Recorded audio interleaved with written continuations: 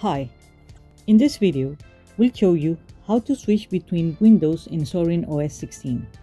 To switch between windows, press and hold down the Super key, then press the Tab key once. This will bring up the Windows switcher. Super is the key that usually has a Windows logo and is located in the bottom left corner of your keyboard. However, if you have an Apple keyboard, you would use the Command key. While in Chromebooks, you'll use the key with the magnifying glass instead. Hold down the Super key while pressing the Tab key repeatedly to switch through the list of open windows. You can also go through the list backwards by pressing and holding the Super key and the Shift key together, then pressing the Tab key repeatedly. If you have an application with more than one window open, you'll notice a small arrow underneath the application. You can scroll through these windows by using the down arrow key while still pressing the super key.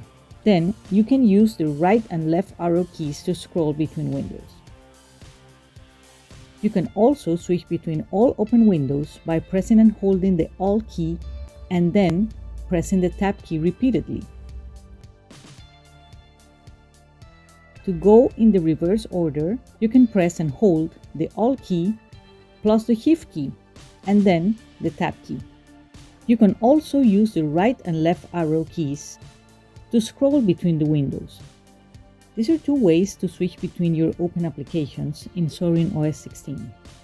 If this video helped you, please consider giving us a like or subscribing. Thanks for watching.